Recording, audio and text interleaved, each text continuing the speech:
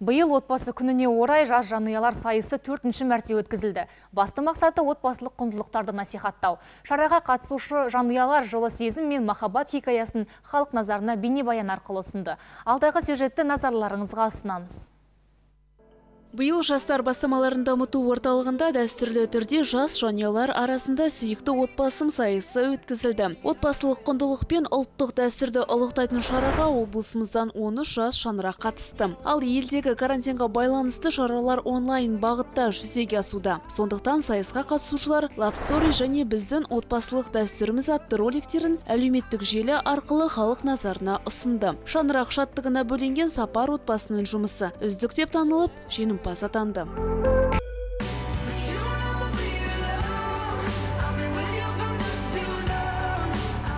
Сапар жанұясы 2019 жылы да жеңіс тұғырынан көрінген. Ұсынған бейнебаяны өзгелерден ерекше болды. Әкесі мен анасының махаббат хикаясын кішкентай қыздары Аружанды бастаған. Қос ғашық университет қабырғасынан бірге. Биыл отау құрғандарына 6 жыл толды.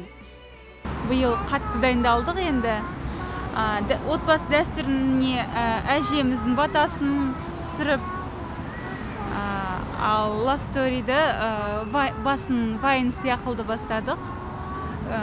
Кішкене күлдіртіп одан кейін өзіміздің жанұямыздың тарихын айттық.